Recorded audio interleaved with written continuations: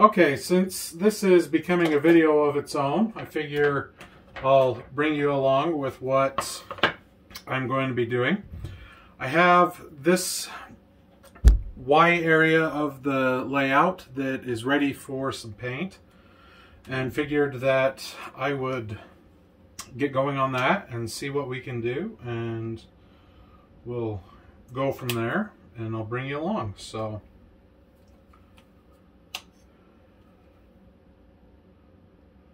I'm using a couple different colors, just some of what I've had and am kind of just using up. One is khaki, the other is this trilled tan. It isn't too, they're close, but the trilled tan is just a little darker. I'm going to probably throw in a little bit of this brown oxide just to I almost prefer it a little bit over burnt umber just because it matches some of the area that I'm in just a little bit more once it's colored right or mixed in with other colors. For once I get to the rock faces, oh, sorry for making you bounce. You'll probably have that a little bit, but I'm going to use this pewter gray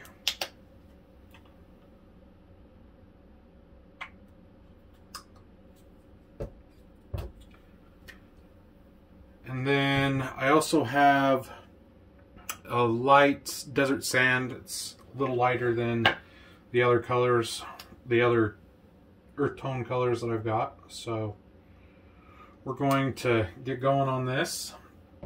And I just, when I'm doing it, I try and tend to use my palette and I'll just mix some colors up in the middle spot here and then add some water and just dab it over it. So we'll see how it goes.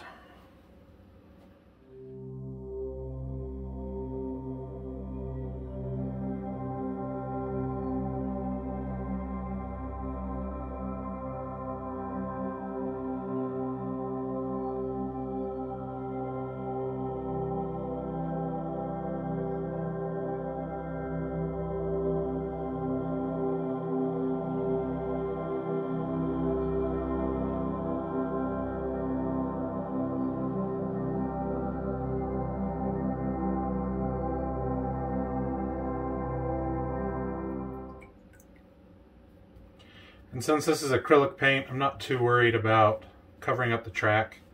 So I can just wipe it off if I get some spilled on it. So.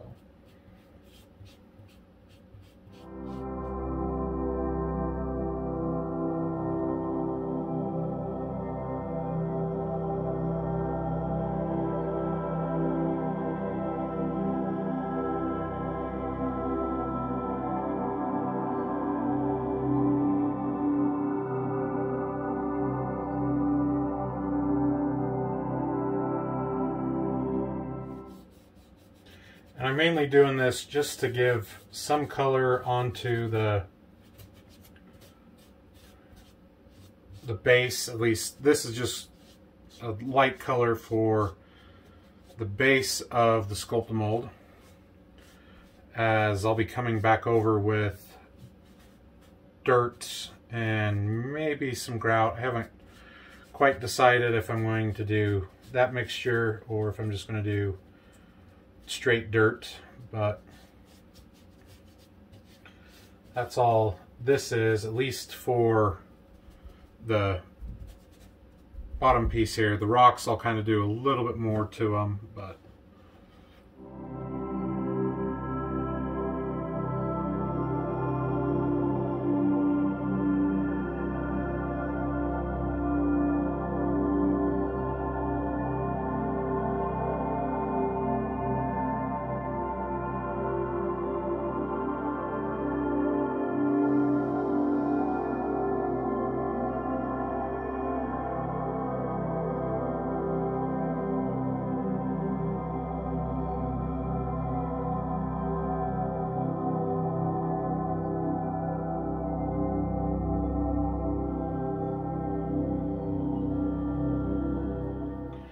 as I said in a previous video, previous clip as well, I'm going to be adding a little bit more to the ballast over here so I'm not terribly worried about getting some of the paint onto it as well where it's going to get a good cover of it or a recover anyway to get the ballast up over the Sculptamold.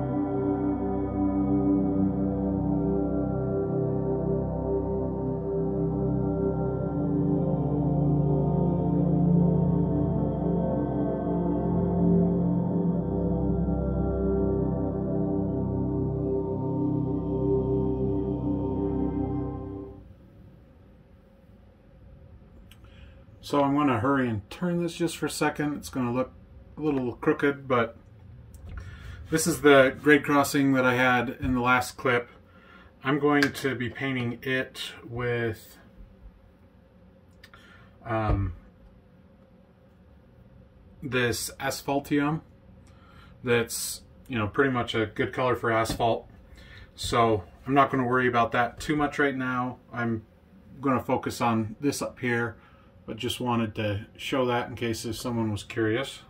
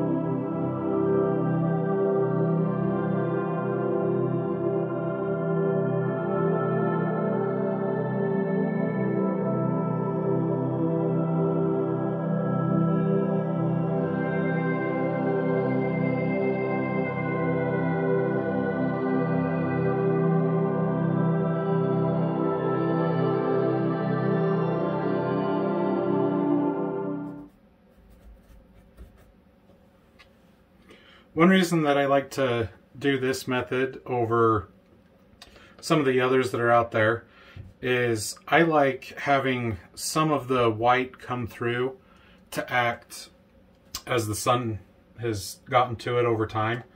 Um, I see a lot of that, you know, here and there in the area I'm at.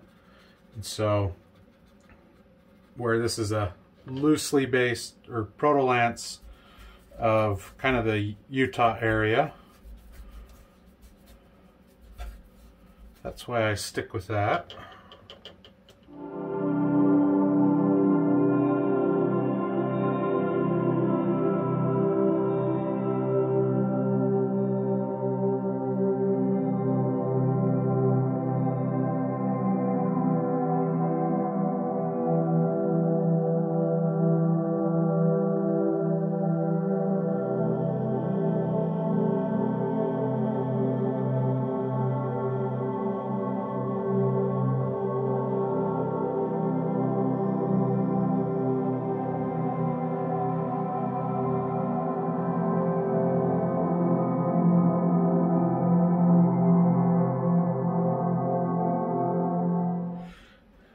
Since I'm planning to do cab ride videos at some point, again, along this back edge, I'm just going through making sure that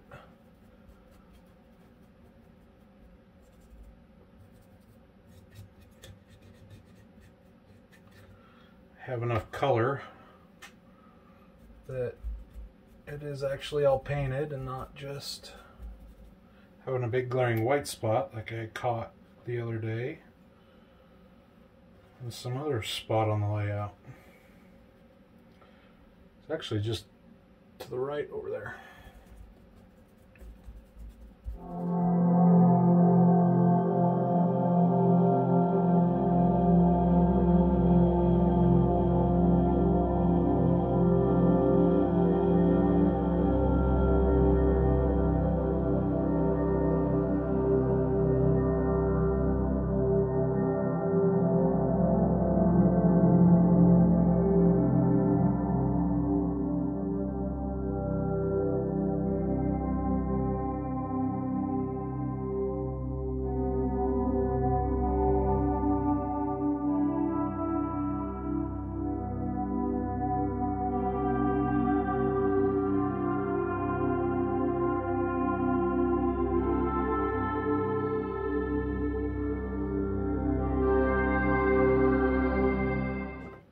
Okay, now that I checked everywhere, everything looks good, I'm happy with it. Maybe add just a little bit of gray in here. That's, yeah, that looks a lot better now. Okay. Okay, now that that's done, we're going to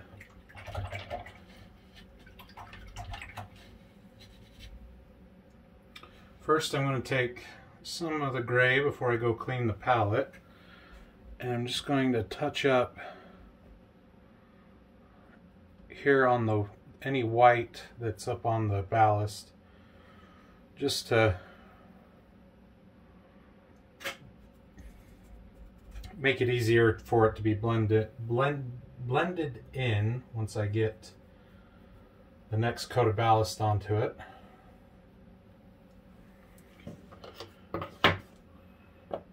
Paint here along the tracks. Okay, we're going to, I noticed as I was moving the camera over that there's some gray inside the track, or gray, There's some Sculptamold inside the tracks that I didn't quite get cleaned off, but we're just going to touch it up with the gray paint. It won't hurt it at all. And we'll just come through with the paper towel.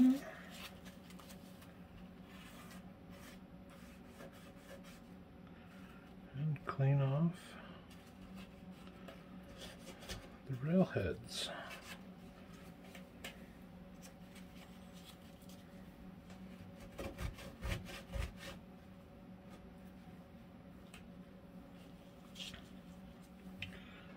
Just go over the ties a little bit and that looks okay until I get to the until I get to putting ballast on the inside of the Unitrack.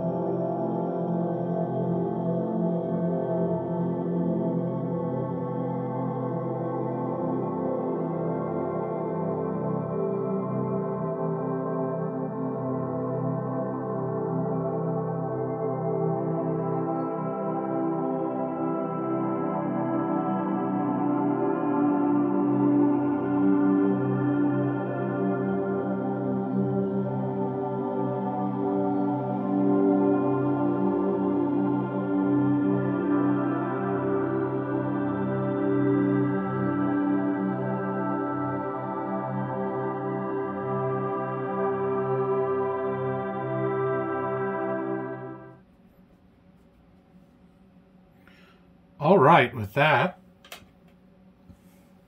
I do need to paint this spot, but this is the tripod leg, so we'll finish that up after we end this clip quick. But here is the final product so far.